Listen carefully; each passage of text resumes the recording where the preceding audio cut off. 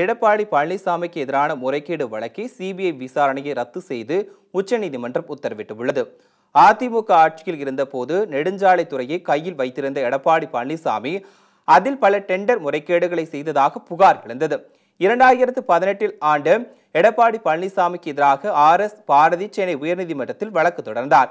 அதில் நான்காயிரத்து எண்ணூறு கோடி ரூபாய் அளவிற்கு நெடுஞ்சாலைத்துறை டெண்டரில் முறைகேடு நடந்ததாக எடப்பாடிக்கு எதிராக ஆர் எஸ் பாரதி புகார் தெரிவித்ததை அடுத்து இந்த வழக்கில் சிபிஐ விசாரணைக்கு உத்தரவிட்டது.